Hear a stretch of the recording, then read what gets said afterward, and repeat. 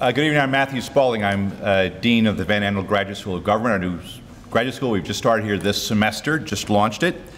Uh, I'm also the Vice President of Hillsdale College here in Washington, D.C. Welcome to our Washington, D.C. campus. Um, we've got a, a very good uh, friend of ours here this evening giving a talk. Uh, we have uh, sound, so we're, recording and it picks up sound, but the room sound is not being very friendly to us this evening, so you'll have to bear with us. But uh, the videotape will be videotaped uh, and recorded very finely, I'm sure.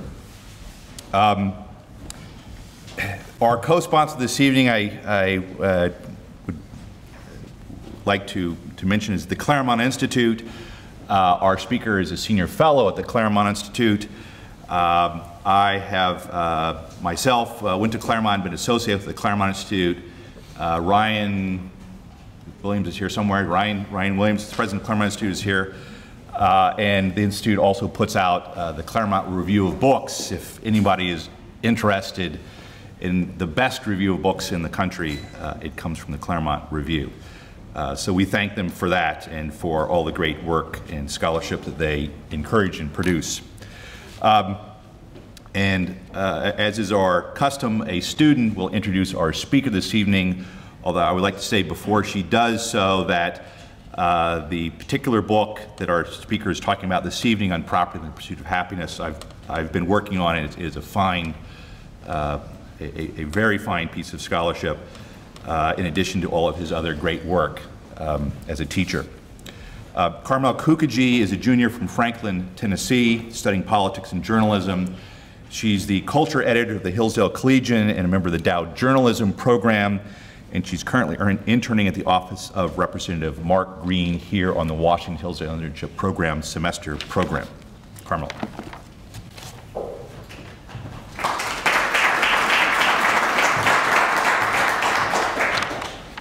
Good evening, ladies and gentlemen. Tonight, I have the distinct privilege of introducing our speaker, Dr. Ed- Edward Erler. Mr. Erler is a professor emeritus of political science at California State University, San Bernardino. He earned his BA from San Jose State University and his master's and PhD in government from the Claremont Graduate School. He has published numerous articles on constitutional topics in journals such as Interpretation, the Notre Dame Journal of Law, and the Harvard Journal of Law and Public Policy. He was a member of the California Advisory Commission on Civil Rights from 1988 to 2006 and served on the California Constitutional Revision Commission in 1996. He is the co-author of The Founders on Citizenship and Immigration and author of Property and the Pursuit of Happiness, Locke, The Declaration of Independence, Madison, and the Challenge of the Administrative State. Please join me in welcoming Dr. Edward Erler.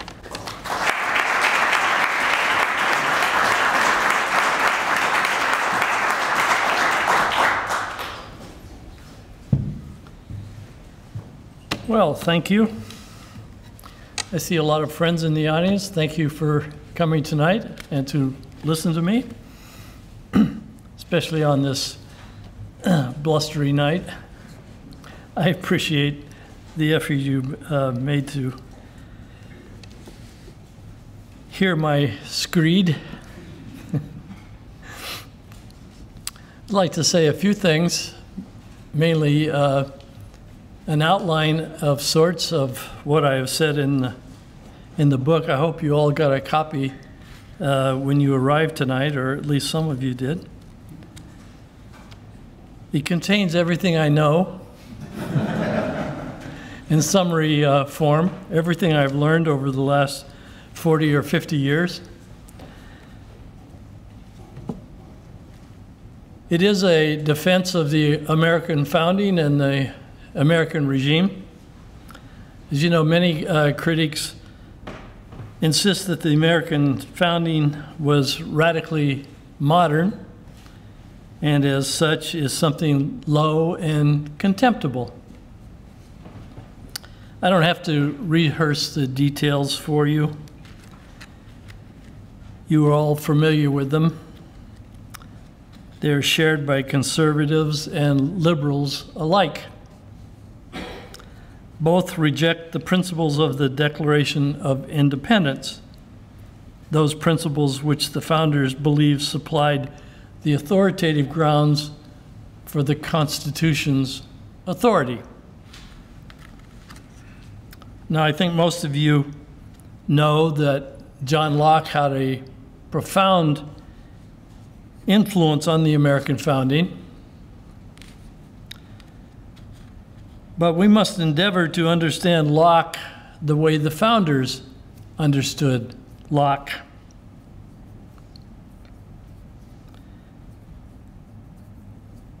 Many of you are familiar with the letter that Jefferson wrote to Henry Lee when he reflected on the character of the Declaration of Independence. He said, It was intended to be an expression of the American mind.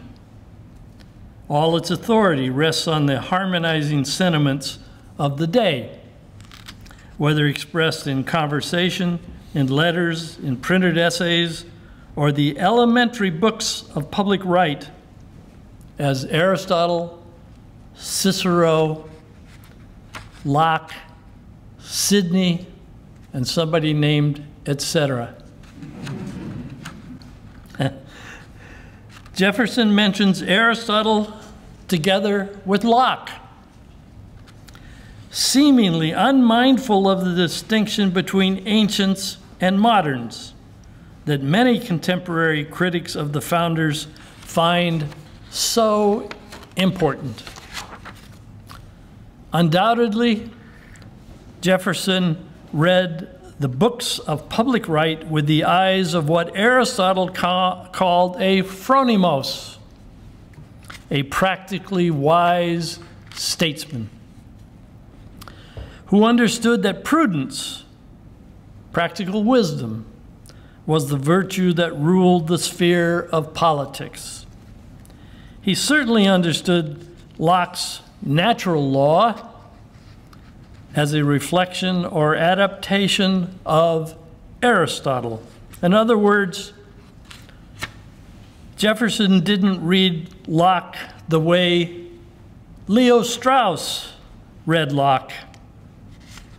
Strauss found a radically modern Locke buried deep within his esoteric writings, doing his part to extend the philosophic project initiated by Machiavelli and continued by Hobbes. But Strauss's reading of Locke was revolutionary. No one had ever before read Locke with his skill, innovation, and penetration, including, as far as we know, the most insightful philosophers. It is impossible to believe that the American founders read Locke the way Strauss did. Founders were philosophic statesmen, open to philosophy and guided by the elementary books of public right. But they were not philosophers. And if we are to understand the founders the way they understood themselves, we must understand Locke the way they understood him. As Strauss remarked, the exoteric Locke, the Locke the founders read, presented an unbroken line of respectability that stretches from Socrates to Locke. It was for this reason that he wielded an extraordinary great influence on men of affairs. Now, Locke's influence on the Declaration of independence is well known. Now let me start there. Central principle of the Declaration, as you all know, is that all men are created equal. Can natural equality ever be a regime principle? Can natural equality, uh, is it really a self-evident truth? And is it a principle that would be intelligible to classical political philosophy? Would it be a part of Aristotelian natural right? Self-evident truth is one that contains the proof within the terms of the statement itself. For example, the axiom that things equal to the same thing are equal to each other is a self evident truth. Anyone who understands the term same and other automatically understands the term equal. And cannot fail at the same time to understanding to understand the meaning uh, cannot fail at the same uh, time to understand the truth of the statement. It is an objective description of the relation of things in the world but in what sense is human quality self-evident we know that there are many natural inequalities that exist among human beings, not the least of which are inequalities of strength, beauty, intelligence, moral capacity, and social capacity. We conclude, therefore, that it is also a self evident truth that all men are not created equal in all respects. That is also a self evident truth. They are created equal in the most important political respect, in the possession of equal rights. The Declaration, of course, addresses the question of political rule. Who should rule and who should be ruled? This question is almost always settled by accident and force. The Declaration seeks an answer that relies on deliberation and choice. You will all recognize there the language of the first number of the Federalist Papers. Whatever inequalities exist among human beings, however measured, none are great enough to make one human being or class of human beings naturally the rulers of others. As Jefferson noted, because Sir Isaac Newton was superior to others in understanding, he was not therefore lord of the person or property of others.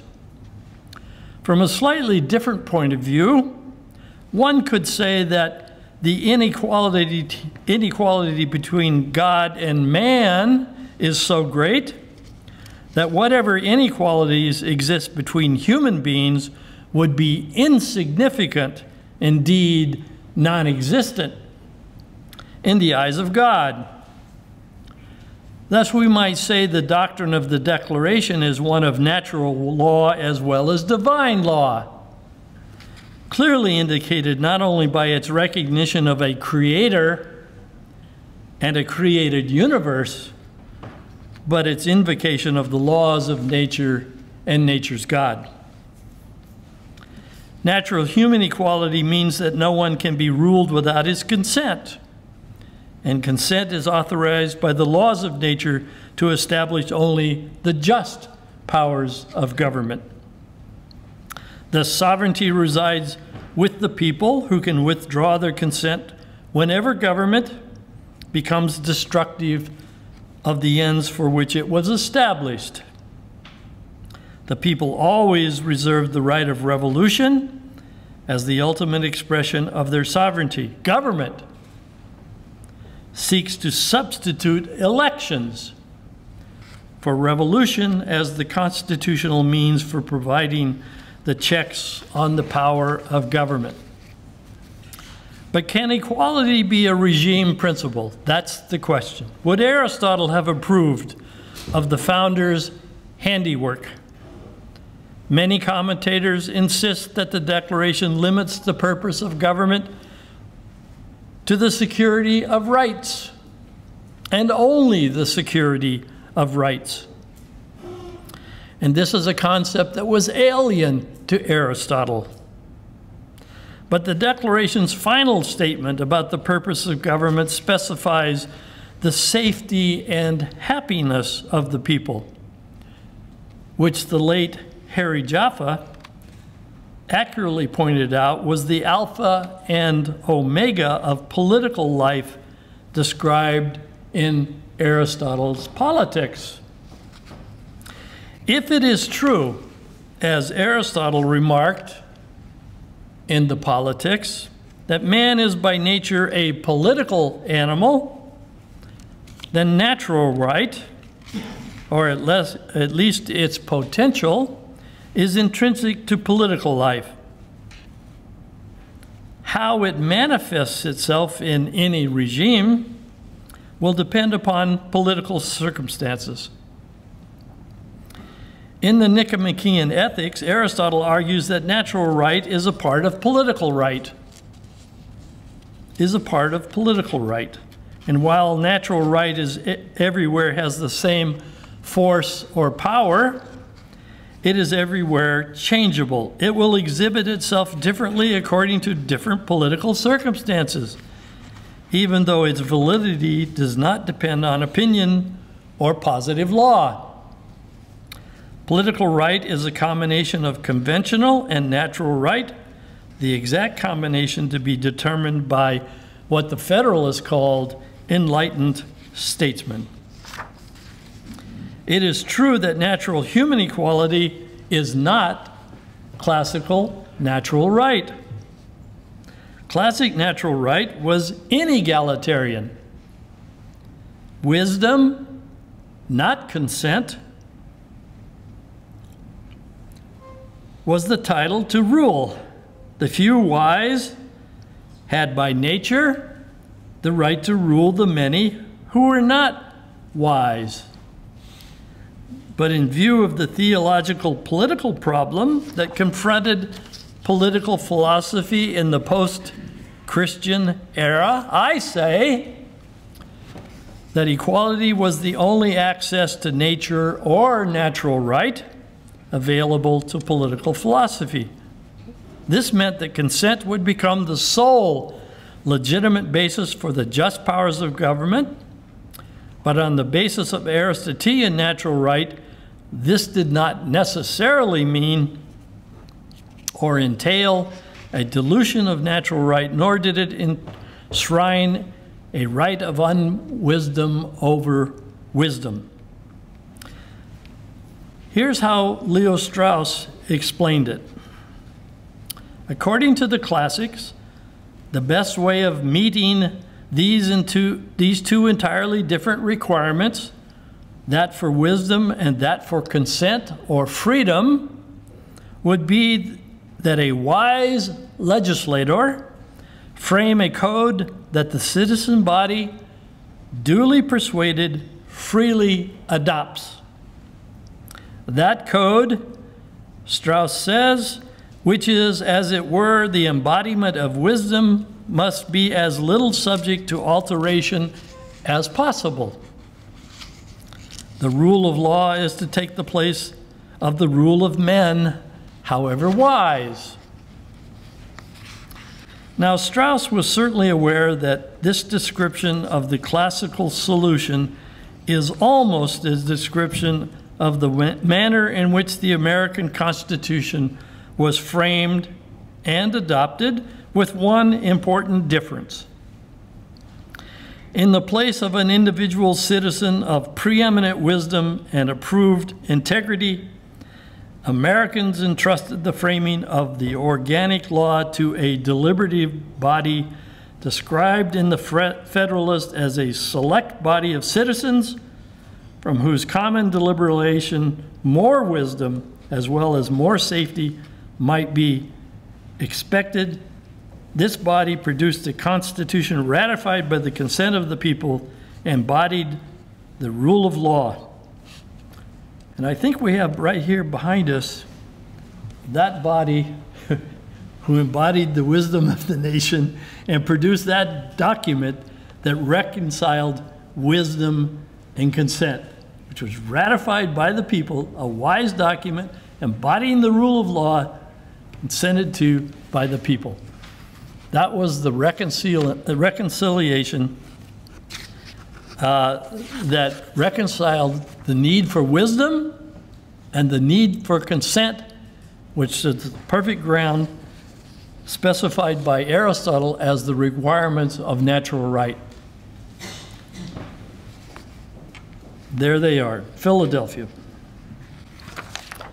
At the same time, the framers were confident that the Constitution's design would ensure the selection into constitutional offices of only those whose patriotism and love of justice will be least likely to sacrifice it to temporary or partial considerations. Another quote from the Federalist.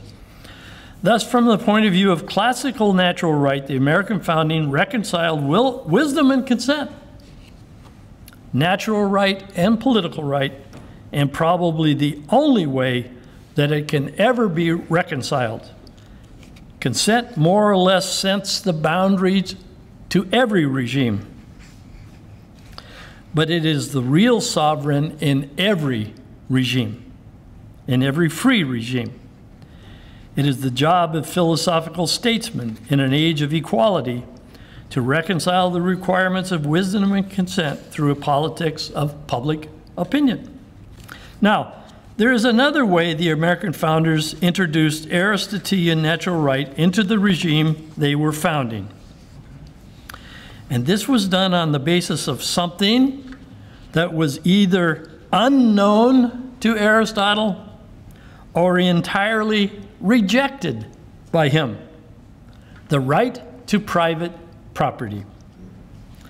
Can this seeming paradox be explained? Well, I think so. There can be little doubt that the right to property was central or a central principle of the American founding. The founders understood property in a comprehensive sense. In a 1792 article, Madison wrote, The right to property includes, in addition to life and liberty, the right to freedom of speech and the free exercise of religion, as well as what Madison called the sacred rights of conscience. And Madison added, for good measure, the freedom to choose an occupation, the right to be free from government monopolies, and unequal taxes. The right to property thus protected the goods of the soul as well as the goods of the body. Founders' understanding of property was derived from Locke, but I believe the American founders understood property to be more extensive and more dynamic than Locke. They improved on Locke. Now, the natural right to property was central to Locke's second treatise, uh, uh, a book that was widely read and widely cited during the founding period. Now, once a private uh, right to private property was argued and accepted as grounded in nature, monarchy and its attendant theological doctrine of passive obedience to government was headed for extinction. The rule of property under the English monarchy, which was subsequently embodied in the common law, was that the king owned all property in the realm, and all use of the king's property was conditioned on the payment of taxes or service. Once, however, Locke articulated the labor theory of value as the foundation for the natural right to property, meaning that property belonged by right to those who created property by individual labor, the foundations of monarchy began to dissolve. In 1774, Jefferson, in a summary view of the rights of British America, wrote, citing Blackstone, Our ancestors who migrated hither were laborers not lawyers. In other words, our ancestors were adherents of Locke, not Blackstone and the common law. Or to say the same thing, our ancestors were adherents of natural right. Labor was the title to property, not grants or titles advanced by kings. The point of departure for Locke was natural equality, which inevitably results in equality of rights, life, liberty, and property. Being the sole proprietor of one's life means self ownership. Property is created by labor, the extension of the exclusive possessions of oneself or one's body to the external world.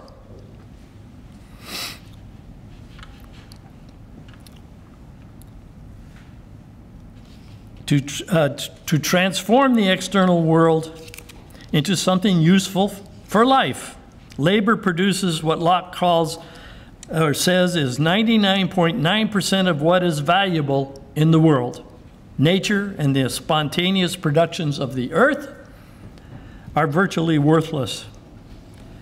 No one had a right to expropriate property created by labor without violating the right of nature or natural law. And there were no natural, uh, there, there were natural uh, law limits on how much could be accumulated. No one had a right to accumulate more than he could use or exchange for other useful items. Any accumulation over the use limit would be subject to spoilage and would deprive others of the use of what was given by God in common to all men. Once money was invented, however, the use limitations were no longer enforceable. Money is not natural. It exists by convention or agreement. Gold, silver, diamonds have little intrinsic value. They are useless things that never spoil, and the accumulation of these items have only what Locke calls a fantastical value and does not deprive anyone of anything useful for life. But the accumulation of money does spur production of useful things. After the invention of money, the desire for acquisition was emancipated.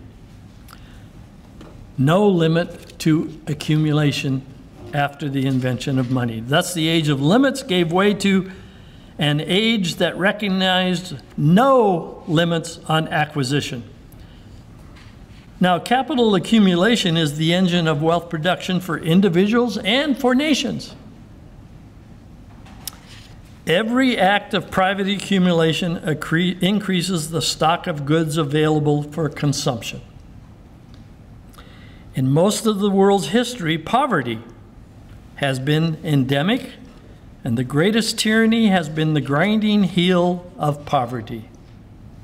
Capitalism has been successful in liberating much of the world from poverty.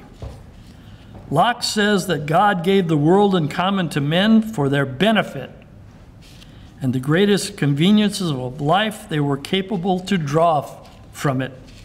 God did not, Locke explains, expect it to remain common and uncultivated. Rather, he gave it to the use of the industrious and rational. The capital system of accumulation has this advantage unknown to any other age before private property. Every act of private appropriation is simultaneously a contribution to the common good because it increases the goods and resources available for consumption. Protection for the natural right to property provided a common good for rich and poor that was not available in the classical world. Think of that. The idea of rights, understood as claims or reservations against government, was unknown to classical political philosophy. Aristotle's mixed regime, which he called the polity, a combination of oligarchy and democracy, was a re regime in which the interests of the rich and the poor served to check one another. Aristotle gave no indication, however, that rich and poor would ever share a common interest. But the right to property supplied such a common interest that could be supported equally by rich and poor. Both have an interest in the protections afforded by the right to property. The rich in maintaining their property, and the poor in the prospect of securing the fruits of their labor and acquiring property in the future. Thus, the foundation for Republican government anchored in the right of property might hold the prospect of avoiding the kinds of class antagonisms that plagued ancient regimes. Aristotle had argued that a mixed regime with a large middle class would be the most stable because the middle class would be neither rich nor poor and would serve as a kind of buffer between the two antagonistic classes. A large middle class, of course, would have been a rarity in the ancient world simply because of widespread scarcity. The way of the world was a few wealthy and many poor. But with a system of private property and the emancipation of acquisition, wealth could be produced at a rate hitherto unknown. This increase in abundance makes it possible to have large middle class democracies in which the protection of the right to property, considered as the most comprehensive right, will be the first object of government. And that is a quote from Federalist Paper number 10. What is more, in constitutional government of the kind inspired by Locke and fully endorsed by the founders, justice would be more securely grounded in nature. On the grounds of Aristotelian natural right, there must be what Leo Strauss called a reasonable correspondence between the social hierarchy and the natural hierarchy.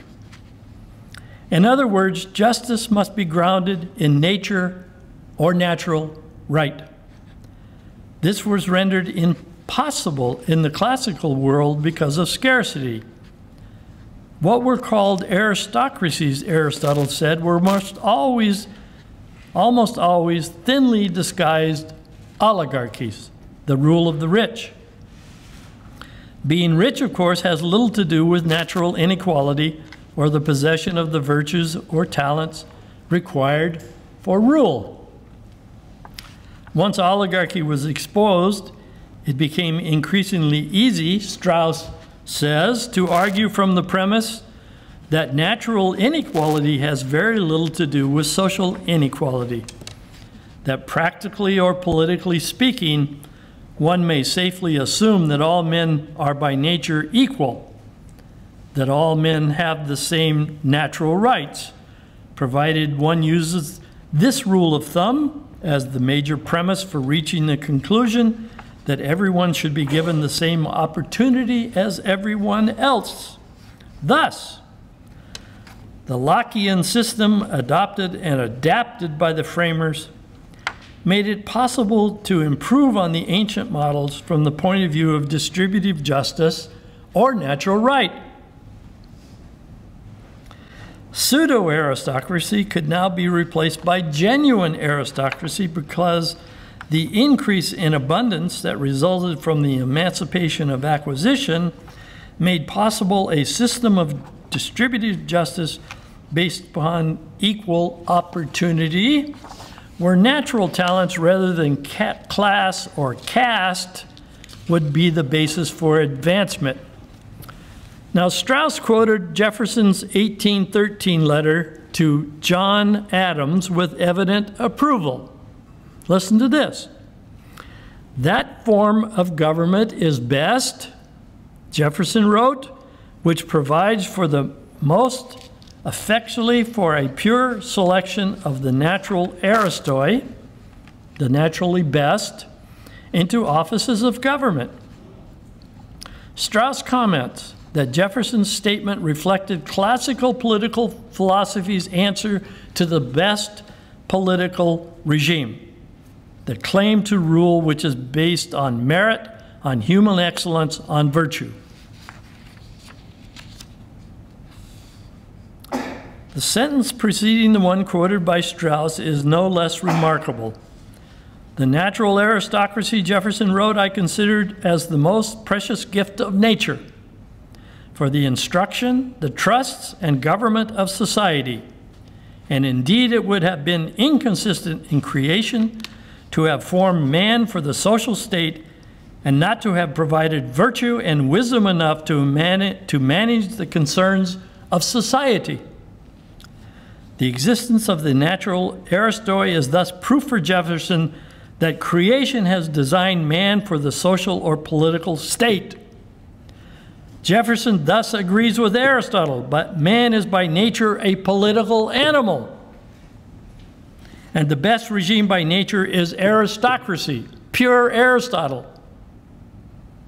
And since it is evident that virtue and talents have been by nature scattered with equal hand through all its conditions, meaning in every class of society, a system of equal opportunity allowing virtue and talent to rise from all classes is a demand of natural right.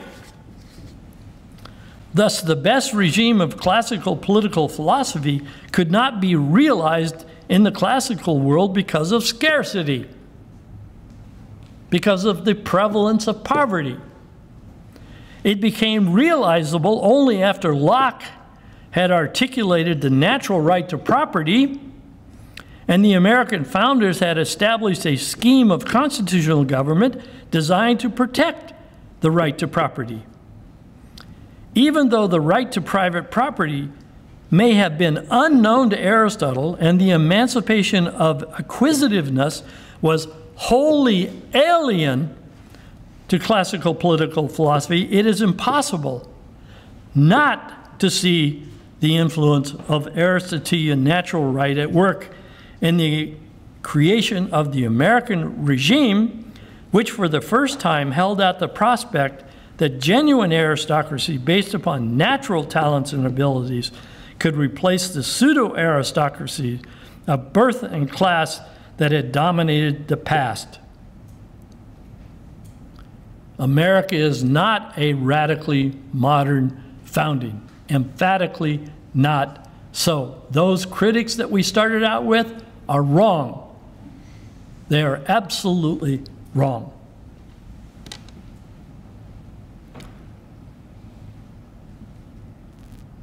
Equality of opportunity, not the accident of birth, was to be the principle of distributive justice that would animate the American regime, and this was an expression of genuine Aristotelian natural right.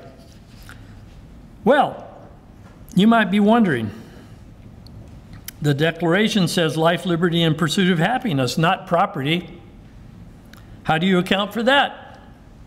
Thanks for asking. the short answer is this property is a necessary but not sufficient condition of human happiness.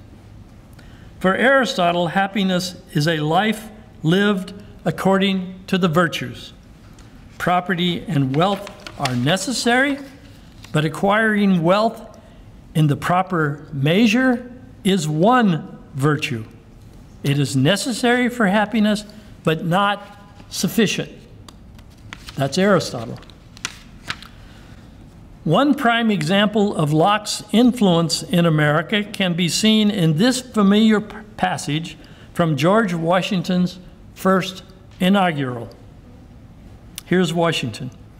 There is no truth more thoroughly established than that there exists in the economy and course of nature an indissoluble union between virtue and happiness, between duty and advantage, between the genuine maxims of an honest and magnanimous policy and the solid rewards of public prosperity and felicity since we ought to be no less persuaded that the propitious smiles of heaven can never be expected on a nation that disregards the eternal rules of order and right which heaven itself has ordained. Now, this statement delineating the nat natural connection between virtue and happiness is, of course, perfectly Aristotelian. Could have been copied right out of Aristotle's Nicomachean Ethics. Thus, Washington and Madison, who wrote this speech, understood the pursuit of happiness to mean the pursuit of virtue. Now, it may surprise you to learn that this notable sentiment of Washington's was a close paraphrase of a passage from Book One of Locke's an essay concerning human understanding. Madison, if not Washington, was well acquainted with Locke's essay, and it is easy to see how these two enlightened statesmen were led to an understanding of Aristotelian natural right through a reading of Locke. In their reading of the essay, the founders must have been exceedingly curious to discover that Locke never described happiness or the pursuit of happiness as a right, preferring to consider it as a moral obligation, at one point, even averring that it is a perfection of our nature. That doesn't sound radically modern. It sounds just like Aristotle, does it not? Locke does not, as modern critics are wont to do, present the pursuit of happiness as something idiosyncratic or subjective. Rather, according to Locke, it rests on a reasoned view of what constitutes good and evil. Happiness is an inclination and tendency of human nature, Locke argues. And it is when desires are put to the service of the ends or, or purposes discerned by reason that the pursuit of happiness becomes, in Locke's terms, our greatest good. Our greatest good. Human happiness depends, Locke says, upon the distinction between liberty and license. License destroys genuine liberty because the one who indiscriminately indulges his passions is eventually ruled by his passions and becomes enslaved by them, whereas the one who rules his passions through reason enjoys the freedom that accompanies rule. Locke's reasoning here stands in stark contrast to Hobbes, who famously insisted that reason was always subordinate to passion. For Locke, in contrast, reason properly disciplined and directed controls passion and desire and directs the will to what he calls true felicity, meaning true happiness. It is active reason that forms the core, of moral virtue for Locke.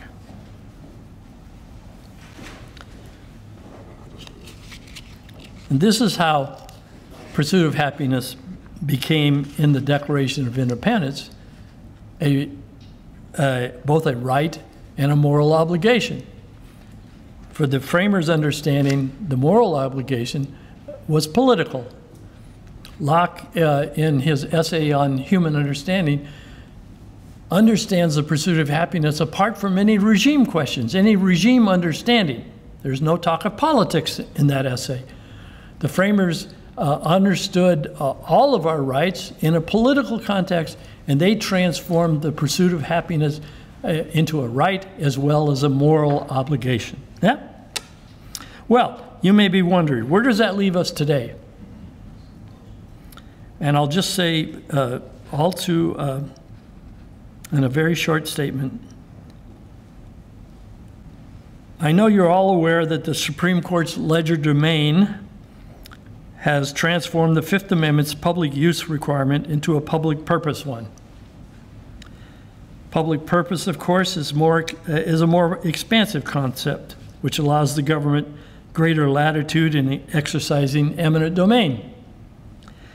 We've already heard Blackstone describe how the common law viewed the king as the universal landlord who parceled out property in return for feudal duties.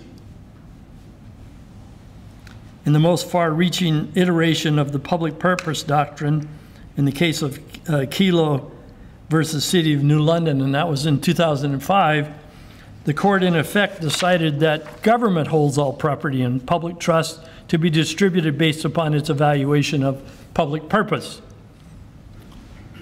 And under the Kelo rationale, the government has indeed become the universal landlord. But now the king has been replaced by the administrative state. It is not entirely an exaggeration to say that the right to private property has effectively been abolished. All property is now hold, held in, public, in trust by government. And I would say that it's not entirely an exaggeration to say that the regime of the founders no longer exists. And I thank you for listening.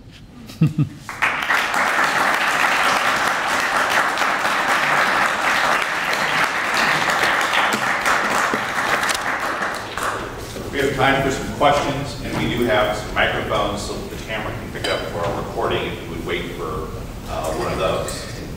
Stay there, microphone there. Please, questions, but more importantly, objections. Yes, as I say, he's a, he's a professor, so he'll call on you if you don't have a question. Oh, okay. Go ahead. Thank you, Professor uh, Christopher Harris with Unhyphenated America. And the question I have, I I appreciate everything you said. It's a great talk. The question I have, what would be the mechanism to undo uh, basically turning private property or, or ta- turning all the property over to the government? What mechanism, what steps could, should we take or could we take? Well, uh, the framers had this idea. Property was kind of an early warning system that we could, uh, we can lose our property and regain our property, but assaults on liberty uh, would always uh, show up first as assaults upon the right to property. And you could be certain that assaults on the right to property would mean that assaults on liberty would uh, show up shortly thereafter. So that we should take alarm immediately when assaults on the right to property uh, began. It was like an early warning system. As soon as the right to property, and, and they took that to mean uh, taxation without representation was one assault on the right to property. Uh, but any uh, assault on the right to property uh, should be taken very, very seriously because uh, the right uh, to liberty would be next.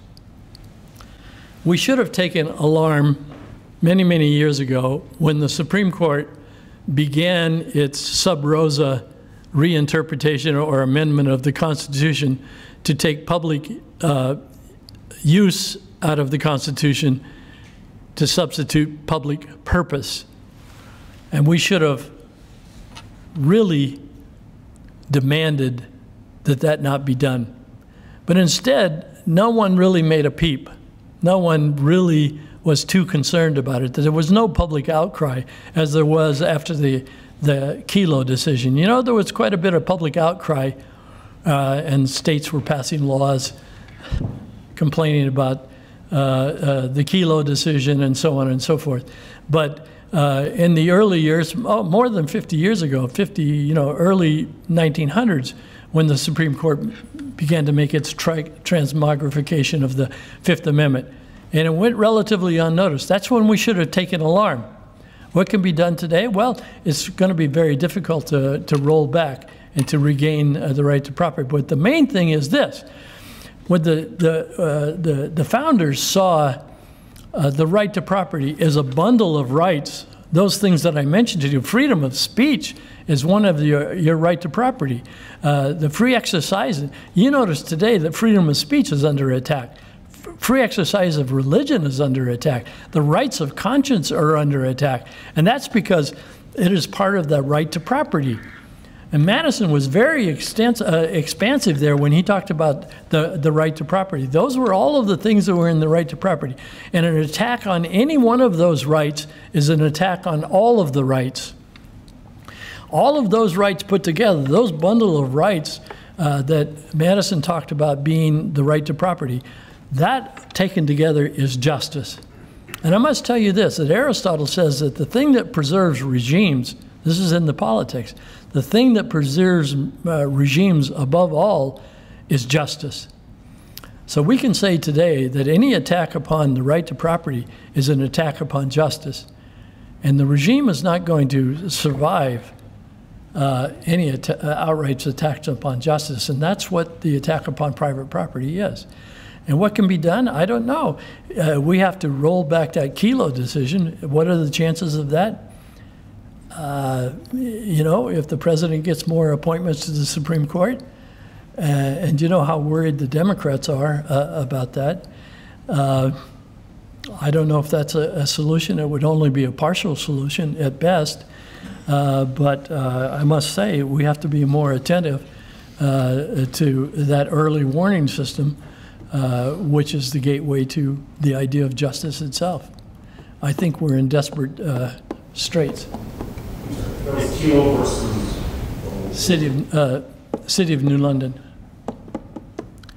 there was an interesting collo- colloquy uh, between Justices Scalia and O'Connor uh, and the attorney for the city of New London, they asked him, would it be okay for the, the city uh, to uh, take a Motel 6 by eminent domain and replace it with a uh, more luxurious hotel, say a Hilton Hotel, if it produced more revenue? And the, and the, uh, the attorney for the city uh, said yes, if it produced more revenue uh, which, which was a surprising answer, absolutely surprising answer. You could take private property, give it to a, a, another person if it produced more revenue to the state or to the city. And uh, later on, this, uh, the attorney for the city said, uh, at that point, I knew I had won. And there is no argument, none whatsoever, that is more foreign to what the framers uh, of the Constitution had in mind and the framers of the Fifth Amendment uh, who was, by the way, James Madison uh, as well. Uh, no argument more uh, alien to, to the to founders of the Constitution than uh, what the attorney for the city of New London claims won the argument for him before the Supreme Court. And it probably did. that's, that's astounding. Anyway, anybody else? Yes, sir. Oh, Professor Masugi. Well, quite often, uh, property rights are, today are uh, distinguished from human rights, which is the rights all right-thinking people should embrace, right? And, and so when did Madison's expansive notion of property, which corresponds with ancient natural right, uh, really, uh, uh, when was that um, uh, questioned and uh, uh, fall into well, disuse? Yeah, yeah. what you say is correct. I mean, what we hear all of the time today is that the framers put so much emphasis on the right to property that they forgot about human rights. Uh, they put so much emphasis on the right to property, uh, and they did so at the expense of human rights. Well, uh, they viewed the right to property as a comprehensive right. Uh, it was the comprehensive human right, and they didn't see any distinction or any separation between human rights and property rights. Property right was the comprehensive human right. Madison said, as you have a right to property, so you have a property in your rights. That was his famous statement in the essay that I uh, quoted from earlier. Now, uh, that idea that there was a separation between human rights and property rights began uh, with progressivism. That is to say, the, the attempt to uh, debunk the American founding. But in the Supreme Court, it began in the early 1900s uh, with this idea that uh, we can ex expand government's um, role in the economy and uh, government's role in uh, managing property and, and, and, economic rights. And that's when they said we've got to have a more uh, expansive uh, notion of when government can intrude on, on uh, privacy or private rights in order to uh, help economic rights and so on. So that's, that's when that happened. But you're right, it's a false dichotomy to say, property rights and human rights are opposed to one another. That's simply false. The framers didn't believe that at all. Mr. Teddy. Yeah, thanks. Uh, I wanted to go back to the uh, your, your, beginning remarks, your opening remarks. Um, you know that there's um, strong criticism, especially on the right, um, like the Pat Deneen book, right? why liberalism failed. Yeah. So there are critics. It, it, he says who, it's failed because it was too successful. Eh, yeah, and that you might put it that way. Uh, so I would express it this way and then ask you to, to sort of respond to it. Whatever else you can say about similarities between Aristotle and Locke, the fact is that in the uh, moral and philosophic tradition uh, uh of the classics through uh, through through uh, the Middle Ages, it was always understood that um, acquisitiveness or greed, to put the word on it, uh, was considered a vice and something that ought to be um, suppressed or at least greatly controlled. But you talked a great deal about uh, uh, uh, emancipation of acquisition for the for the founders. So those people would say, I think, that it's true we've become fabulously wealthy uh, by this emancipation, but isn't there, in fact, a connection between the release of that vice, on the one hand, and many, many of the social problems, the declining culture that we have, and so on, and even our some declines in our politics as well. So yeah, no, no, I understand that. I mean, uh, capitalism, in you know, increasing wealth, uh, emancipation of acquisitiveness, uh, is somehow low and loathsome. It's corrupted morality and so on and so forth. But I say that poverty is poverty corrupted morality as well. It uh, it it uh, it maintained tyranny of all kinds of sorts. It, uh, it made uh, oligarchy inevitable. It made injustice inevitable. Sure, the relief of poverty uh, may seem low in a certain kind of way, uh, but it's uh, generous in another kind of way. It's humanitarian in another kind of way, yes? Uh, it made people perhaps greedy, but it lifted a lot of people from poverty into maybe not comfort, uh, comfortable existence or not. It made some people rich. It made some people fabulously wealthy. But the argument that goes today from the people who uh, I forget what they're called, the the Wall, uh, the uh, Never Wall Street, or what, what are they called, the Occupy Wall Street people. Their idea is that uh, uh, is that we we should never because uh, capitalism didn't uh, elevate everyone equally, it should never have elevated anyone. I mean, the, the relief of poverty, I think, has been a good thing. Now you can look back and say, well, capitalism is really a rough system and it's corrupted morality. But I don't think the, the way a sophisticated reading of Locke, yes, maybe. I, I thought somebody was going to say, well, wait a minute. One of the severest critics of, of Locke was Leo Strauss. I mean, he dug deep into Locke and said, you know, that guy read uh, the essay on human stan- understanding uh, and some passages from the same chapter that you quoted from. Uh, he read The Pursuit of Happiness as if it were idiosyncratic and do your own th- kind of thing stuff. And, you know, pursuit of happiness is whatever you want it to be. Well, but the framers didn't read that chapter the way Leo Strauss did. They read him uh, in, in an ordinary sense, in the sense in which I read him. And Locke talks about human happiness as being the, uh, the greatest good uh, for human beings and, uh, and their greatest end and the perfection of human nature. That's the way they read him.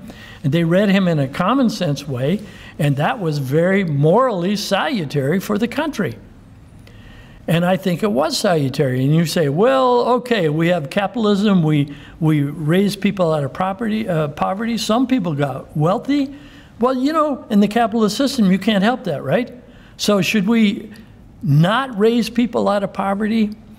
Should we not have a middle class democracy in which we could have a system of equal opportunity, in which we could have a government, a middle class democracy, in which people who are born into poverty can, by the way?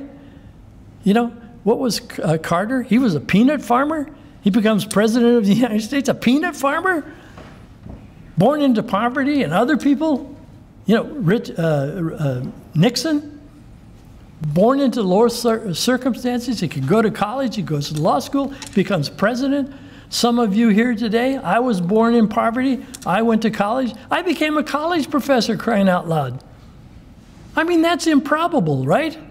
If I was born uh, before uh, the American founding, I would have been born into the lowest class and I would have died in the lowest class, right? And so, you know, okay, fine, that's fine. But because some people got wealthy and, and they became, uh, you know, corrupt, and they act like rich people, and they're corrupt, and they want to corrupt other people, so we ought not to have some people elevated out of property, uh, uh, poverty because it's corrupting to other people. Well, I don't know. There, are, there are trade offs. You know, the statesmen in the world. Look, I'll tell you this no one, everyone is born into a world that they did not create. Am I right about that? We were all born into a world that we didn't create. But we have an obligation to change the world for the better. We all have that obligation. And I always tell, well, I don't see uh, an abundance of young people here, but there are some young people. My generation has failed the next the next generation to mine. I don't know how many generations are behind me now, but being an old guy that I am. But I failed the next generation because I didn't leave the next generation better off. But the framers of our country were born into a, a, world that they did not create, but they moved further and faster than any other generation in history. But they couldn't change everything. There were some intractable problems that they could not change. But they went further and faster. Look, the principle of statesmanship is this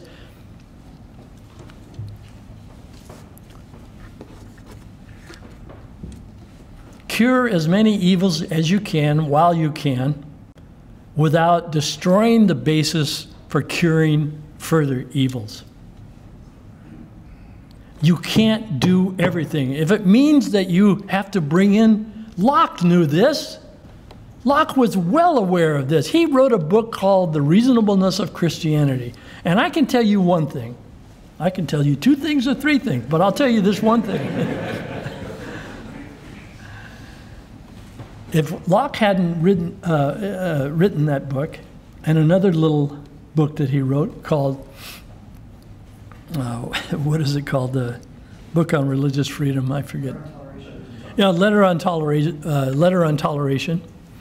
If he hadn't written reasonableness of Christianity and letter on toleration, what made the American founding possible, and I do not exaggerate, is that at the American founding, there was no quarrel between religion and politics. I could put it in fancier terms, but I'll just leave it at that. No theological political quarrels. What the preachers were saying on Sundays and publishing in their pamphlets, they were praising the kind of government that these guys were debating in the convention. They were saying, we need a government, and these guys were saying, we need that government that the ministers are preaching on Sundays. There was no quarrel. Those of you who have read uh, Shakespeare's history plays know about the quarrels uh, that they were having in England. You know, uh, uh Burke says one of the great advantages of the, uh, of the English Constitution is that we, uh, succession is built into the Constitution. We don't have any quarrels about king dies, next king is right there. King dies, the next king is right there. Well, was he right about that? Read the, uh, read the uh, Shakespeare history play. What are all the wars about? Who's the next king is going to be, right? So these guys couldn't fix everything, but they fixed as much as they could. And they went further than anybody. That Declaration of Independence was a world historical event. That changed the world and is still changing the world. You see those people over protesting over in Hong Kong? What are they, what are they holding up? Declaration of Independence. And other places in the world. That was a world historical event. They couldn't, they couldn't put it into effect all at once. Look, ideas are rarely capable of implementation all at once. Am I right about that? You can't translate theory into practice all at once. You go as far as you can, while you can, without destroying the basis for going further. And that's what they did. And they were born into a world they didn't create, just like all the rest of us. And they knew their obligation to change the world for the better, and they went further. I am sure of this. They went further than any other generation in history.